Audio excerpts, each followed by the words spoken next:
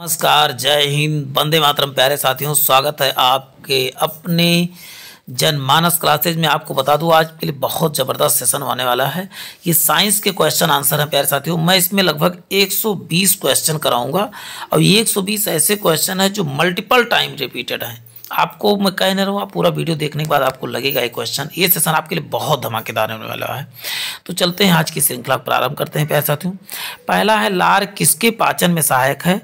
तो लार्ज आप बताओगे स्टार्च के पाचन में। या स्टार्च पाचन कहाँ पर होता तो आप बताओगे मुख में ही प्रारंभ हो जाता है। और वहीं पेस मेकर का संबंध किससे है? तो पेस मेकर का संबंध आप बताओगे। हृदय की गति को सामान्य करने के लिए पेस मेकर का प्रयोग किया जाता है। और वहीं कृत्रिम हृदय की बात करेंगे, कृत्रिम हृदय क्या है? तो बताओगे जौर्बिक सेवन क्या है? तो कृत्रिम हृदय है जौर्बिक सेवन। अब बात करें मनुष्य के जीवन काल में कुल कितनी बार? दो बार दांत आते। कितने दांत? दो बार आते तो बीस दांत आप जानते हो। दूध वाले भी दांत होते हैं, बीस। और बाद में टोटल बत्तीस आते हैं। और बत्तीस में बीस बीस तो दोबारा आते ही आते हैं, और फिर सो, कितने? बारह और अधिक आते हैं।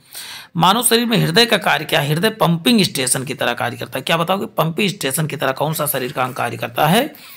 तो इसका उत्तर बताओगे। हृदय जो है। दौड़ लगाते समय मनुष्य का रक्तचाप क्या होता है? बढ़ जाता है।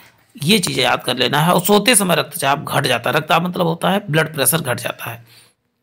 पेस मेकर का कार्य क्या है? दिल के धड़कन को प्रारंभ करना या सामान्य करना, ये क्या है? पेस मेकर का कार्य है। क्रैप चक्र किसका संश्लेषण करता है? पैर, क्रैप चक्र के द्वारा ऊर्जा उत्पन्न होती है। और यह किसका उत्पादन होता है? तो पैरोबिक अम्ल का उत्पादन होता है, संश्लेषण होता है, निकलता है, बात एक ही है। सोते समय रक्तदाब में क्या होता है? परिवर्तन किस प्रकार का? तो बताओ घटता है। पेट में भोजन पचाने के लिए किसकी खास आवश्यकता होती है? किसकी खास आवश्यकता होती है? तो पेट में भोजन पचाने के लिए आप बताओगे, एंजाइम की आवश्यकता होती है। मानव के अमाशय में किस, कौन सा अम्ल भोजन के पाचन में सहायक है? तो यक्ष क्या है? तो यक्स आप बताओ हाइड्रोक्लोरिक अम्ल जो होता है, भोजन के पाचन में सहायक होता है। अधिकांश पाचन जो है किस अंग में पर हो जाता है? तो छोटी आंत में आप बताओगे पाचन सबसे अधिक कहाँ पर होता है? तो छोटी आंत में होता है। अब बात करते हैं, मनुष्य के पाचन क्रिया कहाँ से प्रारंभ होती है? तो उत्तर बताएँगे मुख मुख में किसका, आप बताओ, स्टार्च का पाचन होता है। किनकी भित्तियों पर रक्त द्वारा डाले गए दबाव को रक्त दाब कहा जाता है? तो धमनी, सिरा नहीं, धमनी पर डाले गए दबाव को क्या कहते हैं? आप बताओगे रक्त दाब कहते हैं। ये चीज़ें याद करके रखना, धमनी देखिए, नहीं तो आप, आपने पढ़ा है केवल बस कि हाँ रक्तदाब मापा जाता है किसी लेकिन धमनी के दाब को रक्तदाब मापा जाता है। रक्त का शुद्धिकरण कहाँ होता है? तो बताओ, किड, किडनी में रक्त का शुद्धिकरण होता है। वही आरबीसी किसके कारण से लाल होता है? तो होमे हीमोग्लोबिन के कारण आरबीसी लाल होता है। पेप्सिन बदल देता है प्रोटीन को। पॉलीपेप्टाइड में कौन बदलता है? तो बताओगे पेप्सिन बदल देता है, पेप्सिन नामक एंजाइम बदलता है। पित्त किसके द्वारा पैदा होता है? पित्त बताएँगे यकृत के द्वारा। वही गति प्रेरक या पेस मेकर को ही गति प्रेरक कहा था। किससे संबंधित? तो बताओगे हृदय से संबंधित है। पेस मेकर का ही हिंदी नाम है। सर्वप्रथम परिसंचरण तंत्र का अध्ययन किसने किया था? तो बताओ, विलियम हार्वे ने सबसे पहले जो है परिसंचरण तंत्र का आविष्कार किया था। मानव रुधिर का पीएच मान कितना होता है? तो बताओ, सेवन पॉइंट फोर होता है। वही मानव शरीर में खून का शुद्धिकरण की प्रक्रिया अब नेक्स्ट है क्वेश्चन। देखिए, मानव शरीर में खून का शुद्धिकरण प्रक्रिया को बोलते हैं डायलिसिस बोला जाता है। वहीं पाचन क्रिया में प्रोटीन किस पदार्थ में बदल जाते हैं? प्रोटीन आप बताओगे, एमिनो अम्ल में बदल जाते हैं। किस अम्ल में? आप बताओ, प्रोटीन किस पदार्थ, किसमें तो एम्यूनो अम्ल में। अब बात करते हैं, लार का कौन सा एंजाइम लार में कौन सा? तो बताओ, टाइलिन एंजाइम पाया जाता है, जो स्टार्च का पाचन करता है। मनुष्य के स्वस्थ रक्त यानी कि रक्तचाप सिस्टोलिक और डायसिस्टोलिक होता है। बताओगे 120 बीस एम एम व अस्सी एम एम अब बात करते हैं, अधिकतम पोषक तत्व रक्त में कहाँ अवशोषित होते हैं? तो बताओ, छोटी आंत में होते हैं। और वही पित्त कहाँ जमा होता है? तो पित्त आप बताओगे, पित्ताशय में जमा होता है पित्त। मानव रक्त का प्लाज्मा में पराया पानी की प्रतिशत मात्रा कितनी भिन्नता होती है? तो आप बताओगे, प्लाज्मा की मात्रा वैसे कहा जाए तो लगभग अस्सी से नब्बे परसेंट होती है। प्लाज्मा की मात्रा, ये चीज़ याद करके रख, अस्सी से नब्बे परसेंट होती है। अब बात करते हैं, वह अंग कौन सा जो मानव शरीर में ग्लाइकोजन के रूप में कार्बोहाइड्रेट को जमा करता है? तो यकृत जो है ग्लाइकोजन के रूप में कार्बोहाइड्रेट को जमा करता है। अब बात है, सामान्य जीवन काल में मनुष्य का हृदय लगभग कितनी बार धड़कता है? लगभग दो अरब बार धड़कता है। दो अरब, ये चीज़ें याद कर लेना है। देखिए सभी एक एक चीज़ इंपॉर्टेंट है आपको। रक्त में पाई जाने वाली धातु कौन सी? तो रक्त में कौन सी धातु पाई जाती है? बताओ, लोहा नामक धातु रक्त में पाई जाती है। नेक्स्ट क्वेश्चन देखते हैं, प्यारे साथियों। ओजोन परत के अंदर मिलने वाले छिद्र की खोज कब हुई थी? तो इसका उत्तर उन्नीस सौ पचासी में ओजोन पत्र ये कहाँ पर? तो अंटार्कटिका में इस छिद्र का पता लगाया गया था। आदमी की खाल के अध्ययन को, यानी त्वचा के अध्ययन को क्या कहते हैं? तो बताओ, त्वचा विज्ञान, या इंग्लिश में इसे डर्मेटोलॉजिस्ट के नाम, डर्मेटोलॉजी के नाम से जाना जाता है। गन्ने के अंदर लाल लाल शरण रोग बीमारी के लिए कौन सा जिम्मेदार है? तो आप बताओगे, कोलेटोट्रिकम, फैलकटम जो है, इसके लिए जिम्मेदार है। वहीं केचुए के अंदर दिल की कितनी जोड़ियाँ पाई जाती हैं? तो चार चार चैम्बर पाए जाते हैं कुछ केचुए के अंदर। अब बात करते हैं, बाँस वाले बाँस खाने वाले जानवर का नाम क्या है? तो लाल पांडा क्या बाँस खा जाता है। आप सोचिए। भ्रूण के विकास के अध्ययन को क्या बोलते हैं? भ्रूण विज्ञान कहा जाता है। फ्यूटेस नेक्स्ट है। व्यायाम और मालिश से शरीर बीमारियों में छुटकारा पाने के तरीकों को क्या कहते हैं? तो उसे बोलते हैं फिजियोथेरेपी कहा जाता है। यानी व्यायाम के द्वारा और जो है मालिश के द्वारा जो बीमारी को छुटकारा पाए, उसे फिजियोथेरेपी। वहीं जात एनेलिडा की स्थापना करने वाले वैज्ञानिक थे वैज्ञानिक थे तो लैमार्क ने जो है एनालिडा की स्थापना किया था। जैसे कृत्रिम संश्लेषण के लिए, डीएनए के लिए किसको नोबेल प्राइज मिला? तो अब तक कॉर्नबर्ग को जो है नोबेल प्राइज मिला था। प्यास, नींद, भूख को केंद्रित करने वाले मस्तिष्क के किस भाग, मस्तिष्क के भाग को किस नाम? तो हाइपोथैलेमस का केंद्र। भूख, नींद और प्यास का केंद्र किसे? तो आपको बताऊँगे हाइपोथैलेमस को जाना जाता है। कुष्ठ और टीबी रोग के इलाज के लिए कौन सा रोगाणुरोधी दवा तो आप बताओ रिफ्लै रिफैगसिन का प्रयोग करते हैं किसमें टीबी रोग और के इलाज के लिए, कुष्ठ टीबी रोग। मानव रक्त में प्लाज्मा की मात्रा कितनी? तो बताओ इक्यानवे से बानवे परसेंट। धमनी और नाड़ी के रक्त ताप का अध्ययन क्या कहलाता तो बताओ फैगमो मोलोलॉजी। फाइगमोलॉजी, ये चीज़ें याद करके रखना फैगनो मैनोमीटर नहीं फैगमोलॉजी बात कर रहा हूँ। मूंगफली के अंदर टिक्का रोड जो होता है, क्रोकोस्फेरा पर सोनाटा है। वही बात करते ऊर्जा का कौन सा साधन प्रदूषण नहीं करता? तो सूर्य ऊर्जा जो है, कोई भी प्रदूषण नहीं करता। भारत में स्थापित किए जाने वाले पहले राष्ट्रीय उद्यान का नाम क्या था? तो कार्बेट नेशनल पार्क क्या था? पहला राष्ट्रीय उद्यान था। और वहीं नेक्स्ट, तंबाकू के अंदर जो हानिकारक तत्व होता है, उसका क्या नाम है? तो उसका नाम निकोटिन है। तंबाकू के अंदर जो हानिकारक पदार्थ होता है, वही चाय में क्या होता है? तो थीन और कॉफ़ी में कॉफीन पाया जाता है। बंगाल में 1942 में अकाल हुआ। उसका मुख्य कारण क्या था? तो चावल की पत्ती में धब्बे जो है, उसका मुख्य कारण था। वही परिस्थिति में विज्ञान तंत्र का अजैव घटक क्या है? तो मतलब अजय यानी कि अजैविक घटक क्या है? तो मतलब पानी क्या है? अजैविक घटक है। रेड डेटा बुक जारी करने वाला के लिए कौन जिम्मेदार है? तो U N, U I C N होना था, जी एन नहीं, आई आई यू सी एन होना चाहिए था। आई यू सी एन जो है, रेड डेटा बुक जारी करता है। दूध को पचाने में कौन सा एंजाइम सहायक है? तो रेनिन एंजाइम दूध के पचाने में सहायक है। आराम से पचने वाले प्रोटीन का साधन क्या है? सब, आराम से कौन से प्रोटीन? तो सोयाबीन की प्रोटीन आराम से पच जाती है। एडवर्ड जेनर का संपर्क किस बीमारी, एडवर्ड जेनर जेनर ने किस बीमारी की खोज किया था? तो चेचक का खोज किया था। वहीं टीके भी चीके, चेचक की टीके का भी खोज किसने तो आप बताओ, जेनर ने किया था। जीवन की उत्पत्ति का सिद्धांत किसने प्रतिपादित किया तो आप बताओगे, ओपेरिन ने जो है प्रस्तावित किया था। ट्वेंटी फाइव नंबर क्वेश्चन देख रहे हैं।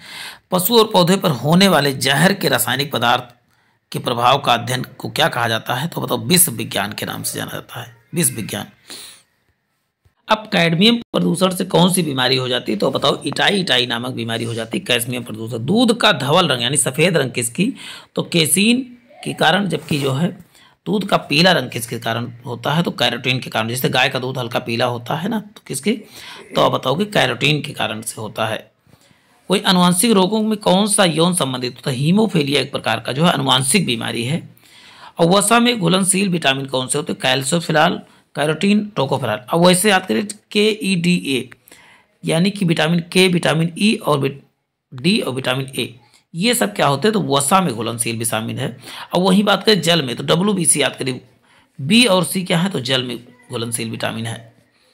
राष्ट्रीय पोषण संस्थान एक अनुसंधान है जो किस राज्य में है? तो बताओ आंध्र प्रदेश में क्या है? पोषण अनुसंधान संस्थान है। अब दो संयुक्त वृत्त वाले व्यक्ति यानी कि जिसकी किडनी खराब हो, हो गई हो अपोहन यानी डायलिसिस का उपयोग किया जाता है। इस प्रक्रम को क्या बोलते हैं? तो परासरण यानी कि किडनी के दबाव को फुलाता है। लेकिन ये कोई परमानेंट इलाज नहीं है आपको, जो डायलिसिस है। ये टेम्परेरी इलाज है। चलते हैं नेक्स्ट देखते हैं प्यार साथियों, किस तत्व की कमी के कारण घेघा रोग हो जाता है। घेघा रोग किसकी कमी से होता है? तो घेघा रोग आप बताओगे। आयोडीन की कमी से घेघा रोग हो जाता है। और आयोडीन क्या है? अधातु होते हुए भी इसमें चमक होता है। तो कौन सी ऐसी अधातु है जो चमकती है? तो बताओ आयोडीन। और वैसे आयोडीन आपको कहाँ दिखेगा? आप बताओगे नमक में। नमक में किसकी मात्रा होती है? आयोडीन की मात्रा पाई जाती है। लेकिन आपको बता दो, जो खड़ा वाला नमक, जो पीसा वाला नमक होता है, उसमें आयोडीन मिलाया जाता है। और यदि आप आयोडीन लेते हो तो आपको घेघा नामक बीमारी कभी भी नहीं हो सकती है। तो इसलिए आप जब भी खाएँ तो आयोडीन युक्त नमक ही खाएँ। चिकित्सक पदार्थ परामर्श देते हैं। कि हमें अपना भोजन वनस्पति घी की अपेक्षा तेल से बनाना चाहिए। ऐसा क्यों? क्योंकि तेल क्या है? असंतृप्त वसाएँ हैं। असंतृप्त वसाएँ क्या होते हैं? जो सामान्य टेम्परेचर पे क्या होते हैं? लिक्विड अवस्था में पाए जाते हैं, जिससे आप सरसों का तेल क्या है? तो कह सकते हो ये हमारे स्वास्थ्य के लिए ज़्यादा ठीक है, जबकि डालडा वगैरह जो आप देखते हो, यानी प्रति ये थोड़ा हमारे शरीर के लिए क्या होते हैं? हानिकारक होते हैं। जो सामान्य टेम्परेचर पे भी क्या रहते हैं? जो है आपने देखा ठोस के अवस्था में पाए जाते हैं। ई ई जी किस अंक का कार्य प्रणाली को, के लिए जाँच करता है तो मस्तिष्क जबकि ई सी जी जब बात करेगा ई सी जी ई सी जी किसके लिए? तो सी मतलब होता है कार्डियो मतलब हृदय की जाँच के लिए ई सी जी का प्रयोग किया जाता है। और वही जापानी इंसेफलाइटिस किसका कारण? जापानी इंसेफलाइटिस क्या होता है? विषाणु से यानी वायरस से होने वाली बीमारी है। स्वरों को मानव रियायती क्षेत्रों से दूर रखना किसके उन्मूलन का सहायक है? तो जापानी इंसेफलाइटिस किससे फैलता है? तो स्वरों से फैलने वाली बीमारी है। एड्स विषाणु सबसे ज़्यादा कहाँ आजमाई गई दवा है? तो अब तो एड्स में एजिडोब्यूटिन यानी एजीटी दवा जो है, एड्स में सबसे अधिक प्रयोग की गई है। शरीर की कैलोरी आवश्यकता गर्मी की अपेक्षा सर्दियों में बढ़ जाती क्योंकि अधिक कैलोरी शरीर के ताप को बनाए रखने में क्या करता है? सहायक होता है। इसी लोग खाना चपक के ठंडी में खाते हैं। कि वो शरीर का तापमान को बना के रखें। नेक्स्ट है केसीन दुग्ध होता है तो बताओ प्रोटीन दुग्ध में कौन सा केसीन प्रोटीन पाया जाता है? कहाँ काम करने वाले व्यक्तियों को ब्लैक लंग रोग हो जाता है तो कोयला खान में काम करने वाले को ब्लैक रंग रोग हो जाता है। एक कार्यशाली महिला को प्रतिदिन कितना प्रोटीन लेना चाहिए? तो उत्तर बताएँगे 45 ग्राम प्रोटीन जो है कार्यशाली महिला को लेना चाहिए। श्वेत फुफ्फुस रोग पाया जाता है तो सीमेंट उद्योग के कर्मचारियों में जो है श्वेत फुफ्फुस रोग पाया जाता है। वही काला जार का रोग वाहक कौन सा है? तो सीसी मच्छी या किसे बोलते हैं सिकटा मच्छी सिकटा मच्छी। या काला जार को इसी को बालू मच्छी के नाम से भी जाना जाता है। इसी से काला जार नामक बीमारी हो जाती है बालू मच्छी से दिल का दौरा किसके कारण से पड़ता है? रक्त में हृदय की आपूर्ति की कमी हो जाती है। और व्यक्ति की दिल के दौरा पड़ने से तुरंत भी मृत्यु हो सकती है। आहार में लवण का मुख्य उपयोग क्या होता है? भोजन के पाचन के लिए अपेक्षित हाइड्रोक्लोरिक अम्ल पैदा करना। चलते ही नेक्स्ट यानी कि आप नमक खाते हो तो हाइड्रोक्लोरिक अम्ल को जो है उत्प्रेरित करता है निकालने के लिए। दर्दनाथ अस्थि रोग इटाई इटाई सबसे पहले कहाँ पता लगाया था? बताओ जापान में। किस सूक्ष्मदेव के कारण जो है हेपेटाइटिस बी नामक बीमारी होती है। हेपेटाइटिस बी वायरस से होने वाली बीमारी है, जबकि हमें किसकी उपस्थिति के कारण दूध में मिठास आ जाती है लैक्टोज दूध में क्या पाया जाता है लैक्टोज पाया जाता है। इसी कारण से दूध हल्का मीठा भी लगता है। तो इन सब चीज़ों को आपको रीजन नहीं जानते हो तो वैसे भी आपको दैनिक जीवन में भी जानना ज़रूरी है कि दूध किसके कारण मीठा होता है। आप बताओगे लैक्टोज के कारण। और वहीं दूध से दही किसके कारण बदलता है तो लैक्टोबैसिलस जो है विषाणु जीवाणु के कारण जो है, दूध से दही बनता है। तो आप सोचते भी नहीं होंगे कि दूध में भी जीवाणु पाए जाते हैं। लेकिन वो हमारे लिए क्या है? हानिकारक नहीं है। हमारे कहीं ना कहीं वो लाभदायक विषाणु है जीवाणु है सॉरी एनोस्मिया कह किसे कहते हैं? घ्राण। यानी कि सुनने की कमी को क्या बोला जाता है? बताओ कि एनोस्मिया। जब आप सुन नहीं पाते उस बीमारी को बोलते हैं घ्राण संवेदना की कमी या इसी को एन, एनोस्मिया नामक बीमारी कहा जाता है। घात करोड़ छिप गया कौन सी कौन सा विषाणु का लक्षण है? तो आर एस बी विषाणु का लक्षण है कि घात करोड़ छिप जाओ। वही कोलेस्ट्रॉल है तो जंतु के वसा में उपस्थित वसीय एल्कोहल क्या होता है? कोलेस्ट्रॉल कहलाता है। अब बात करते हैं। न्यूट्रोसिकल उत्पाद जिनमें होते हैं, पोषक और औषधि प्रभाव वाले जो है न्यूट्रिकल उत्पाद होते हैं। पौधे और जंतुओं में कार्बोहाइड्रेट किस रूप में संचित होता है? स्टार तथा ग्लूकोज के रूप में उपस्थित होता है। चेचक के टीके का आविष्कार किसने किया था? लुई पास्टर ने, जबकि संतुलित आहार में सन्निकट क्या होना चाहिए? तो एक एक बटा पाँच क्या है? प्रोटीन, एक बटा पाँच वसा और तीन बटा पाँच। यानी सबसे अधिक हमारे शरीर को किसकी आवश्यकता? तो बताओ कार्बोहाइड्रेट की सबसे अधिक हमारे शरीर को आवश्यकता होती है। नेक्स्ट क्वेश्चन है इस कर्बी रोग के इलाज में उपयोगी है? तो आप बताओगे आंवला। आंवला में सबसे अधिक कौन सा अम्ल पाया जाता है? तो बताओ विटामिन सी पाया जाता है। गाजर किस विटामिन का समृद्ध स्रोत है? तो गाजर सबसे अधिक किसमें पाया था? विटामिन ए में सबसे अधिक गाजर। और विटामिन सी का रासायनिक नाम क्या है? तो स्कार्बिक एसिड विटामिन सी में सर्वाधिक मात्रा में पाया जाता है। बीएमडी परीक्षण किया जाता है पहचान किसके द्वारा? तो ऑस्टियोपोरोसिस नामक बीमारी में बीएमडी परीक्षण किया जाता है। Bone marrow test density test कहा जाता है इसे? साइनोकोबालामिन क्या है? बी ट्वेल्व को साइनोकोबालामिन के नाम से जाना जाता है। एस्बेटस कर कारण से होने वाला रोग कौन सा? तो एस्फेसेमा क्या है? एस्बेटस एस्बेस्टस से होने वाली बीमारी है। काली मौत किसे कहा था तो प्लेग को ही काली मौत के नाम से जाना जाता है। किस विटामिन के कारण जो है, मसूड़ों में रक्त आता है और दंत हिलने लगता है? तो विटामिन सी के कारण ही मसूड़े हिलने लगते हैं। विटामिन सी का सबसे उत्तम स्रोत आंवला है। आंवला कहाँ पर? उत्तर प्रदेश के सबसे अधिक जो है प्रतापगढ़ में होता है। प्रातःकालीन धूप में मानव शरीर में कौन सा विटामिन उत्पन्न होता है? तो विटामिन डी प्रातःकालीन धूप से उत्पन्न होता है। एक कठोर परिश्रम करने वाले पुरुष को दैनिक ऊर्जा की आवश्यकता होती है। चार हज़ार किलो कैलोरी की आवश्यकता। है कठोर परिश्रम की बात हो रही है, नॉर्मल परिश्रम वाले क्योंकि सौ कैलोरी बहुत है। बच्चों में अंगों की अस्थियाँ मुड़ जाती हैं, यदि कमी हो जाए, विटामिन डी की कमी से अस्थियाँ मुड़ जाती हैं। वही किस सब्ज़ी में प्राप्त नहीं होने वाला, विटामिन विटामिन डी किसी सब्ज़ी से नहीं, साग से भले प्राप्त होता है, लेकिन सब्ज़ी से नहीं। मलेरिया का संक्रमण चरण है तो बताओ रोगाणु रोगाणु रोगाणु को कहते हैं। छोटी माता में चिकन पॉक्स पैदा की जाती है, डीएनए विषाणु द्वारा जो पैदा होता है। मछलियों के यकृत में के तेल में कौन किसी विटामिन डी की प्रचुरता होती है, विटामिन ई, महत्वपूर्ण लिंग ग्रंथियों की सामान्य क्रिया करने के लिए विटामिन ई की आवश्यकता होती है। विटामिन जो खट्टे फलों को में पाया जाता है तथा चर्म की स्वस्थ रखने में आवश्यक तो विटामिन सी। कौन सा कवक है? एक्जिमा क्या है? यानी कि दांत खाद खुजली किससे? तो बताओगे। कवक से फैलने वाला रोग बीमारी है। विटामिन डी का रासायनिक नाम कैल्सीफेरॉल विटामिन बी टू का अन्य नाम राइबोफ्लोमिन होता है। कोई थायमिन किसका नाम है? तो बताओ विटामिन बी का नाम जो है थायमिन है। गलगंड में कौन सा प्रभावित होता है? थायराइड ग्लैंड जो होता है गले की ग्रंथि जो है। वो यड्स किससे होता है? विषाणु से। और किस वायरस से? तो, तो एच वायरस से होता है। भारी मात्रा में एल्कोहल पीने से यकृत सिरोसिस नामक बीमारी हो जाती है। रक्त का थक्का किस्म ने स्कंदन किस्म तो विटामिन के के कारण। वहीं मानव शरीर में विटामिन ए का संचित कहाँ पर और यकृत में संचित होता है। डेंगू बुखार के कारण मानव शरीर में कमी किसकी होती है प्लेटलेट की कमी हो जाती है। जिस विटामिन ने कोबाल्ट पाया था, विटामिन बी ट्वेल्व में कोबाल्ट नामक धातु पाई जाती है। और विटामिन ए में क्या, टोकोफोराल। तो आज के लिए प्यारे साथियों, इतना ही, फिर मिलते हैं एक नए सेशन में। जय हिंद, जय भारत।